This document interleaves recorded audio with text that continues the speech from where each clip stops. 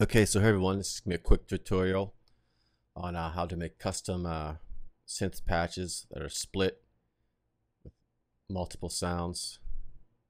Um, so right now I got the juicy pump bass here, and I'm gonna go down right here, and you see key limits. I have it set to C minus C2 to D sharp 2. You could just change that it's going up and down. And then over here, I have a lead instrument. The key limit from E2 to G8. So we got two uh, different sounds on the same keyboard. And also notice I also transposed the ambient lead up an octave. So then I'll create a track stack of those.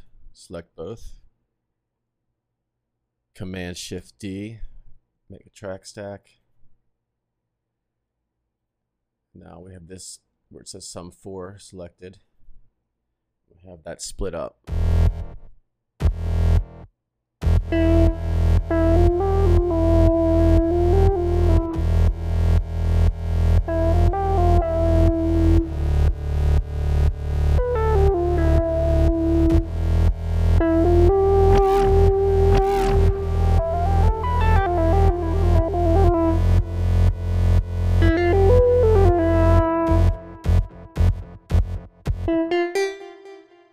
And of course, you can do that with more instruments, three instruments, four instruments, whatever you want to do.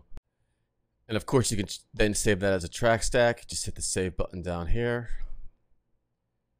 And then you have that patch whenever you need it. All right, then. So thanks for watching. Subscribe to my channel. Check out some other tutorials.